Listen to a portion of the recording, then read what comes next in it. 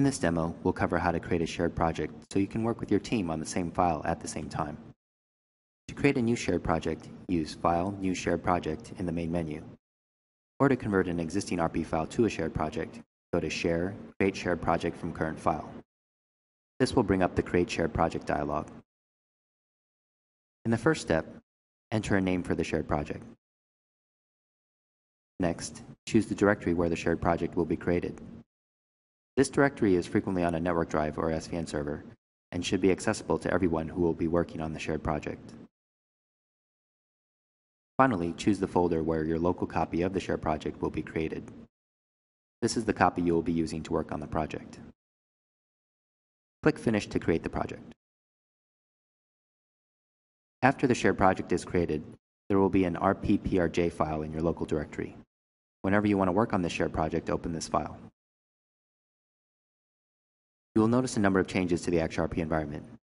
The icons next to the pages in the sitemap pane and the masters in the masters pane show if you have the page or master checked out. To make changes to a page, master, or project property, the item needs to be checked out in your local copy. Keep in mind that checkouts are per local copy and not per user. If a page is checked out, the icon changes to a green circle and you can make your edits as usual.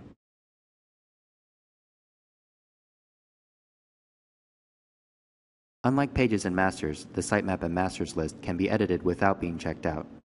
This makes it possible for multiple people to add and organize pages at the same time. The project can be saved to your local copy using File Save. When we're ready to submit our changes to the shared project, we can check in a page by right-clicking on the page in the sitemap and selecting Check In. This can also be done in the toolbar above the wireframe. When you check in, you can add notes about the changes you made.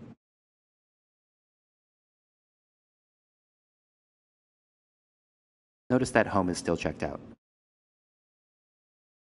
After the page is checked in, others can get the changes to their local copy. You also no longer have the page reserved for editing, and others can check out the page to make their changes.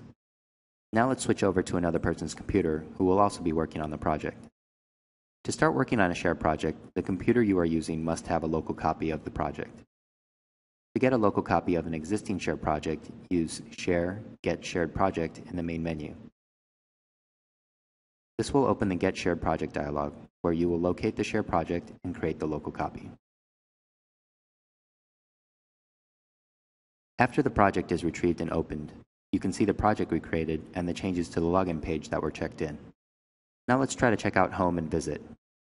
Home is still checked out from the first computer, so we're shown a warning and given the option to edit the page without checkout. This is called an unsafe checkout and is not generally recommended since it can result in overriding other people's changes. So we'll continue without checking out home. After making some changes and adding a new page to the sitemap, let's use Share Check in Everything to check in the entire project. This ensures all our changes are added to the shared project. Now, going back to our first computer, we can retrieve any changes to the shared project using share get all changes from shared project. Notice that the changes to the visit page and the new page in the sitemap are now there. We recommend that you frequently get all changes and check in everything to make sure you and your team have the latest changes. To see the current status of items in the shared project, use the Manage Shared Project browser in the Share menu. Clicking the refresh button shows you which pages and masters are checked out. You can also right-click on an item or selection to check in, check out, and get the latest changes. You can also see a history of the revisions to the shared project using the Shared Project History browser. Set a date range and click on the Get History button.